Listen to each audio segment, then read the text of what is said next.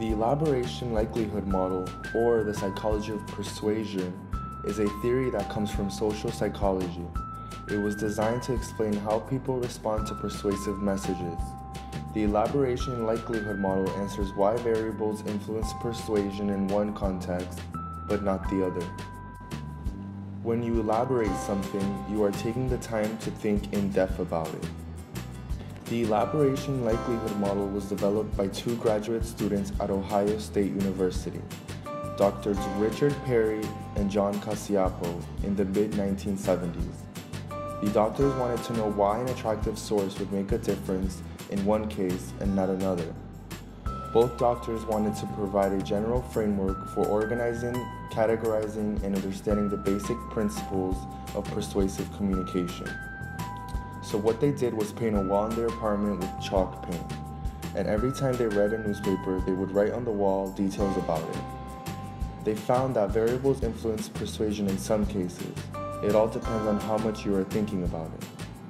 I know this may sound confusing, but let's stop and give a little example. Let's say you're moving and you're looking for a new place to live. You'll probably give a lot of time researching what neighborhood is best for you, examining crime rates, prices, and the schools and supermarkets nearby. When you put information like this together and really think about it, you are elaborating. Now, we don't always do this much thinking. So, how likely are we to do this much work? That's what the elaboration likelihood model is all about. How likely are you to elaborate, to think hard about what you see, hear, and read? If you're the kind of person who does a lot of hard thinking and you are using central route processing, you're really paying attention to the central detail and the quality of the argument.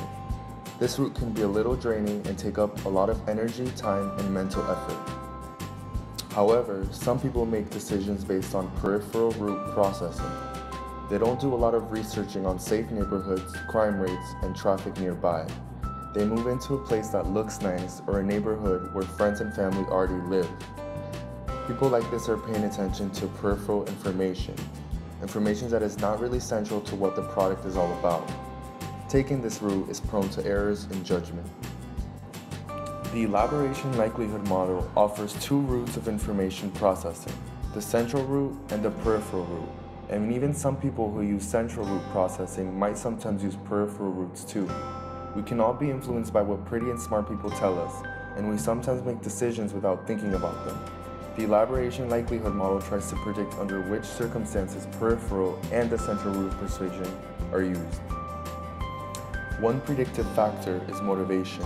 If we are really motivated and involved, the elaboration likelihood model predicts we would take the central route, which basically means we really think it through. Another predictive factor is ability. Ability is your mental capability to process information. Opportunity is another factor and it refers to your willingness to put the effort to process information. The likelihood that someone will think in depth about something depends on all of these conditions. So, elaboration likelihood how likely are you to use central route processing, really thinking hard about something, or peripheral route processing, allowing yourself to be influenced by outside pressures?